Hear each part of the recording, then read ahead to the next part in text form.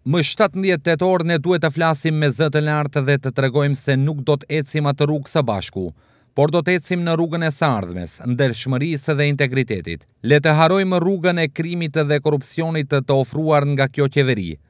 Rruga e prosperitetit, projekteve, fitoreve dhe ndryshimeve, kjo është rruga që ne do të ndjekim.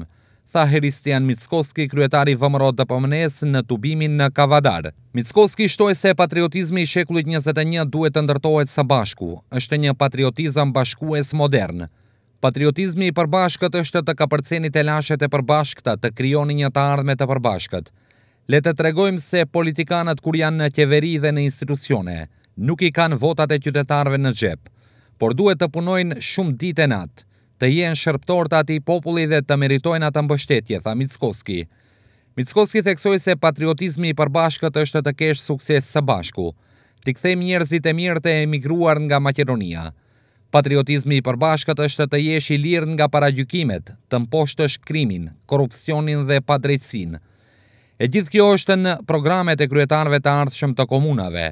Më shumë se katërmbëdhjetë mijë e tetëqind e tridhjetë e pesë projekte nga zona të ndryshme, nga sfera të ndryshme për nevoja të ndryshme të qytetarëve.